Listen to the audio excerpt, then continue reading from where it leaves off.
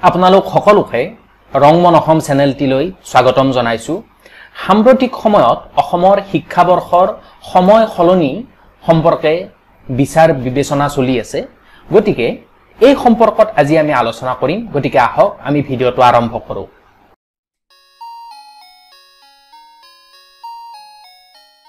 এতিয়া আহক শিক্ষাবৰ্ষৰ সলনিৰ প্ৰসংগটোৰ ওপৰত কিছু কথা আলোচনা কৰোঁ। কিছুদিন পূৰ্বে অসম চৰকাৰৰ মাননীয় মন্ত্ৰী হিমন্ত বিশ্ব শৰ্মা ডাঙৰীয়াই সদৰি কৰিছে যে অসমৰ শিক্ষাবৰ্ষ একত্ৰিছ মাৰ্চলৈকে বৃদ্ধি কৰা হ'ব। আগতে আমি জানো যে অসমৰ শিক্ষাবৰ্ষ জানুৱাৰীৰ পৰা আৰম্ভ হৈ ডিচেম্বৰ মাহত সমাপ্ত হৈছিল। কিন্তু ইয়াৰ পৰিৱৰ্তে আগন্তুক সময়ত মন্ত্ৰীগৰাকীয়ে কৈছে যে অসমৰ শিক্ষাবৰ্ষ এপ্ৰিল মাহৰ আৰম্ভ হৈ ইয়াৰ পৰৱৰ্তী বৰ্ষৰ মাৰ্চ মাহত সমাপ্ত হ'ব। কিন্তু চৰকাৰে ইয়াকো লগতে কৈছে যে এই সিদ্ধান্ত চূড়ান্ত সিদ্ধান্ত নহয় গতিকে অসমৰ সমূহ ৰাজ্যবাসীৰ পৰামৰ্শ এই ক্ষেত্ৰত ৰাজ্য চৰকাৰে বিচাৰিছে। এতিয়া আহক আমি চাওঁ শিক্ষাবৰ্ষ মানেনো কি? শিক্ষাবৰ্ষ হ'ল এক নিৰ্দিষ্ট সময়সীমা যাক বিদ্যালয় মহাবিদ্যালয় অথবা বিশ্ববিদ্যালয়সমূহে শিক্ষাৰ এক নিৰ্দিষ্ট পৰিমাণৰ জোখ হিচাপে ব্যৱহাৰ কৰে। ইয়াত এইটোৱে বুজোৱা হৈছে যে এক নিৰ্দিষ্ট সময়সীমাৰ ভিতৰত এটা শ্ৰেণীৰ পাঠদান আৰম্ভ হৈ পুনৰ শেষ হোৱাটোৱেই হ'ল এটা শিক্ষাবৰ্ষ। এটা শিক্ষাবৰ্ষ শেষ হ'লে ছাত্ৰ ছাত্ৰীসকলে নিম্ন বৰ্গৰ পৰা উচ্চ বৰ্গলৈ পদোন্নতি লাভ কৰে। ভাৰতবৰ্ষত বিভিন্ন শিক্ষা বোৰ্ডত শিক্ষাবৰ্ষও বেলেগ বেলেগ। কিছুমান শিক্ষাবৰ্ষ এপ্ৰিল মাহত আৰম্ভ হৈ মাৰ্চ মাহত শেষ হয়। কিছুমান শিক্ষাবৰ্ষ আকৌ জুন জুলাইত আৰম্ভ হৈ পৰৱৰ্তী বৰ্ষৰ মে'ত শেষ হয় আৰু আমাৰ অসমৰ ক্ষেত্ৰত সাম্প্ৰতিক সময়ত জানুৱাৰীৰ পৰা আৰম্ভ হৈ ডিচেম্বৰ মাহলৈকে শিক্ষাবৰ্ষ এটা নিৰ্ধাৰণ কৰা হয়। এতিয়া আহক আমি জানো সাম্প্ৰতিক সময়ত অসমৰ শিক্ষাবৰ্ষৰ বিভিন্ন সমস্যাসমূহ। আমি জানো যে অসমৰ শিক্ষাবৰ্ষ জানুৱাৰীৰ পৰা আৰম্ভ হৈ ডিচেম্বৰত শেষ হয়।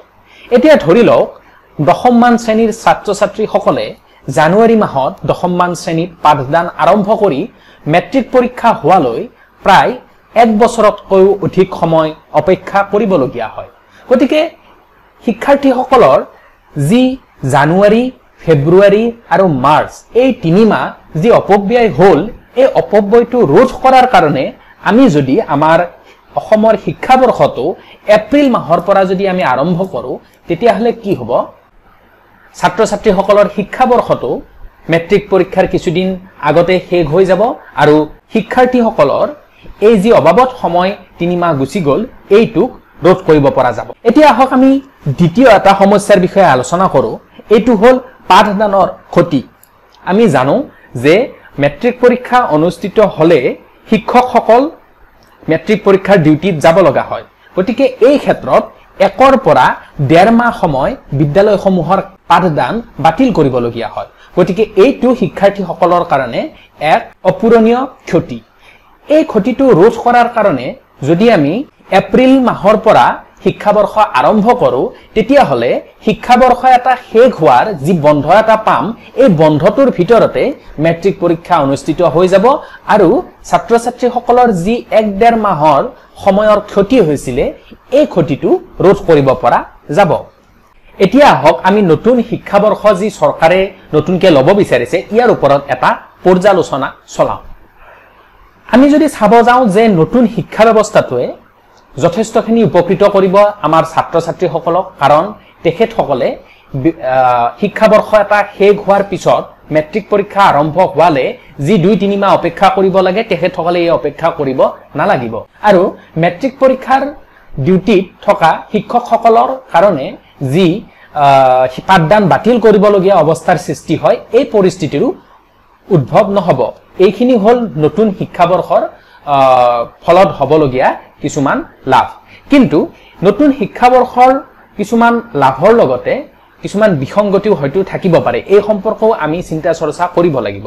প্ৰথমতে ইয়াৰ ভিতৰত ক'ব পাৰি যে বানপানীৰ সমস্যা।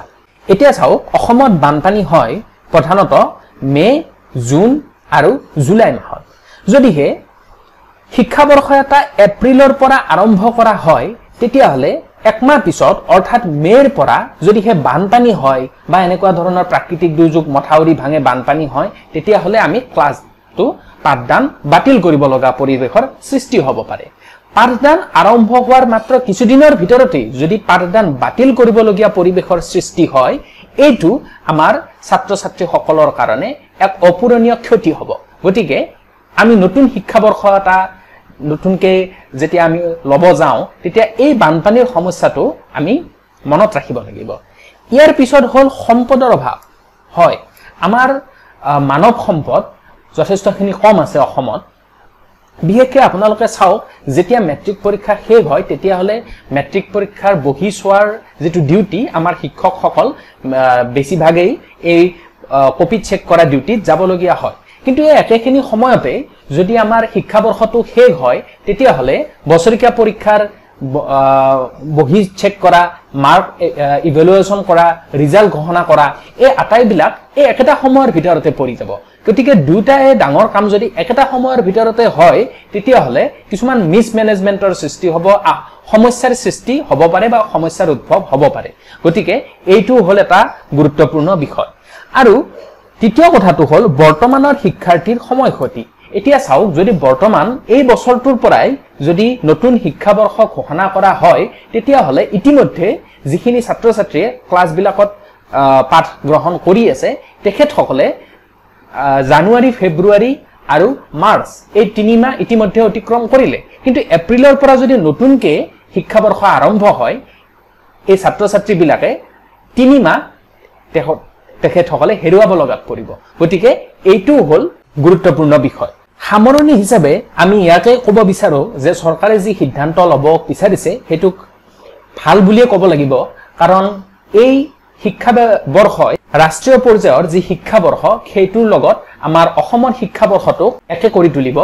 কাৰণ ৰাষ্ট্ৰীয় শিক্ষাবৰ্ষটো এপ্ৰিলৰ পৰা আৰম্ভ হৈ মাৰ্চ মাহত শেষ হয়। গতিকে এইটো আমাৰ ছাত্ৰ ছাত্ৰীসকলৰ কাৰণে এক ভাল খবৰ বুলিয়ে ক'ব লাগিব।